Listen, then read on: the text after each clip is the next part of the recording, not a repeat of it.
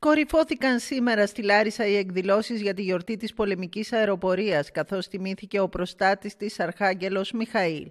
Παρουσία εκπροσώπων των θρησκευτικών, πολιτικών και στρατιωτικών αρχών πραγματοποιήθηκε το πρωί η επίσημη δοξολογία στην 110 πτέρυγα μάχη στη Λάρισα.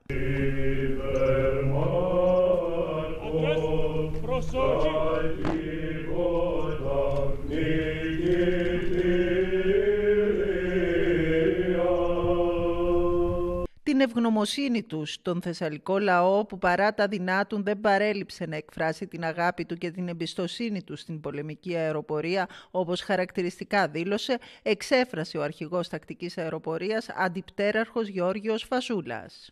Η μέρα εορτίας για την πολεμική αεροπορία τιμάμε τον προστάτη μας και ταυτόχρονα κλείνουμε τους πολύμερους εορτασμούς της πολεμικής αεροπορίας και ειδικά της τακτικής αεροπορίας.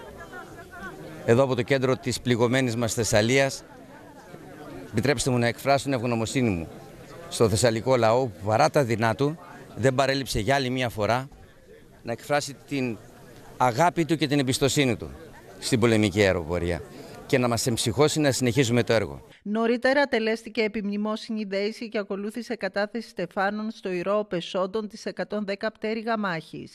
Την παράσταση έκλεψε η επίδειξη από την Δημηρία Επιδείξεων της Σχολής Μόνιμων Υπαξιωματικών.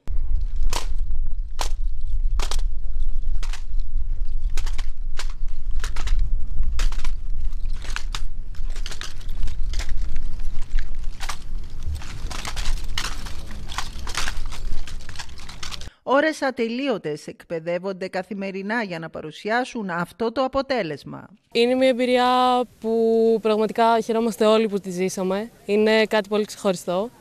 Ε... Πόσο δύσκολο είναι αυτό που βλέπουμε εμείς τώρα. Είναι αρκετά δύσκολο για όλους. Κάνουμε συχνά προπονήσεις. Μπορεί να σας πει και ο κύριος Μύραχος, είναι, είναι αρκετά δύσκολο.